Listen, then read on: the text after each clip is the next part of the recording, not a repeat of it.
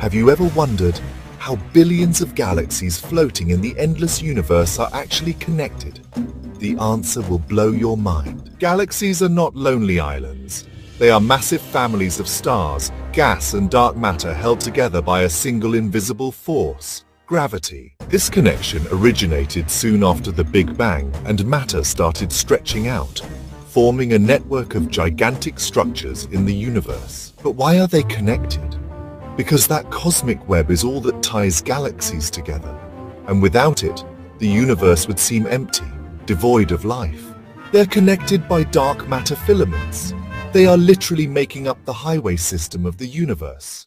Galaxies stream along them, slam into them and merge through them, creating new stars and worlds. And here's the mystery. Scientists think this network could be infinite. If you found this cosmic secret fascinating, wait till you see how stars are born inside galaxies.